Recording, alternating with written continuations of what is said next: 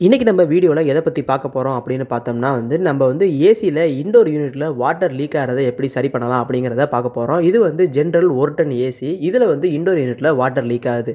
இந்த மாதிரி water league ஆகிறதுனால என்னென்ன ப்ராப்ளம்லாம் வரும்னு பார்த்தோம்னா ஆன்போர்ட் சிஸ்டம் வந்து ஷார்ட் சர்க்யூட்டாக வாய்ப்பு இருக்குது அது மட்டும் இல்லாமல் டோட்டல் ஏசியோட சர்க்கியூட் போர்டையுமே வந்து ஷார்ட் சர்க்கியூட் பண்ணுறதுக்கு நிறையாவே வாய்ப்பு இருக்குது ஸோ இந்த பிரச்சனை எதனால் வருது அப்படின்னு பார்த்தோம்னா ரொம்ப நாளாகவே நம்ம யூஸ் பண்ணாமல் போட்டிருந்தோம்னா இந்த ஏசியில் வந்து இந்த மாதிரியான பிரச்சனை வந்து ஜென்ரலாக வரதான் இருக்குது.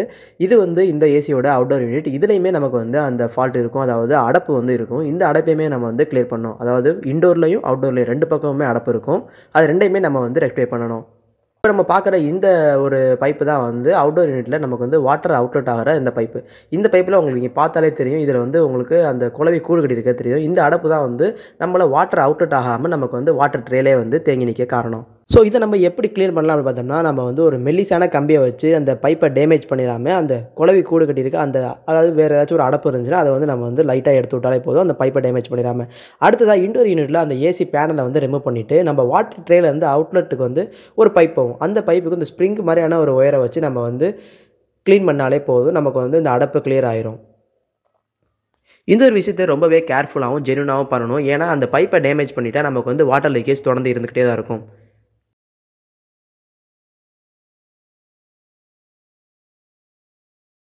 இப்போ பார்த்தீங்கன்னா வந்து இண்டோர் யூனிட் வந்து ஒட்ட இந்த ஸ்ப்ரிங் வந்து அவுட்டோர் இன்ட் வழியாக வெளியே வந்திருக்கு. இதில் பார்த்தீங்கன்னா தண்ணி லீக் ஆகிறது தெரியும். இது வந்து நமக்கு வந்து ஏற்கனவே தேங்கிய தண்ணி தான். ஸோ இதுதான் வந்து நமக்கு அவுட்டோர் இன்ட்லேருந்து எடுத்த அந்த அடப்புக்கான காரணம். இது வந்து குழவி கூட வந்து கட்டியிருந்தனால நமக்கு வந்து வாட்டர் அவுட்லெட் தேங்கியிருந்துச்சு.